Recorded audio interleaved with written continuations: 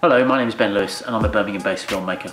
Anxiety is a condition that affects a huge amount of people in the UK and it's something that I've had experience with. I wanted to make a film to raise awareness of this condition and I've produced a film called My Anxiety alongside the help of lots of wonderful people in Birmingham. Um, it features a friend of mine called Paul who suffered from anxiety for many years and essentially it's a really positive piece about he, how he deals with it. We've created this film and we need to get it out in front of people.